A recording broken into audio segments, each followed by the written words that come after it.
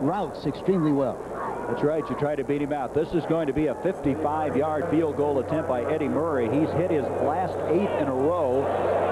So wait a minute. He's going to punt. That's interesting. The little squib kick. And it's going to make it into the end zone. Usually Jim Arnold does the punting. they lined up.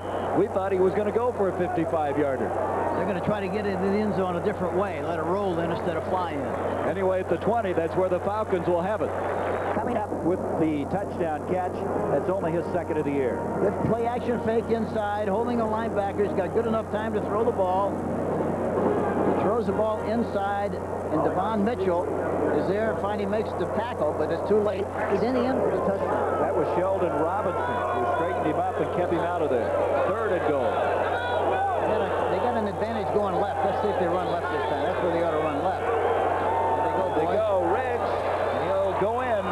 Call that one, Coach.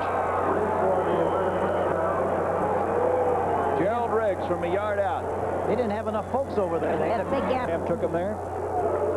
Tampa Bay, uh, maybe will lose Testaverde yet if they aren't careful, because they're coming back in that St. Louis game. And the last 10 seconds now will expire. Jeff Van Note's going to take that football back and put it in his trophy room as the Falcons are going to end on a winning note.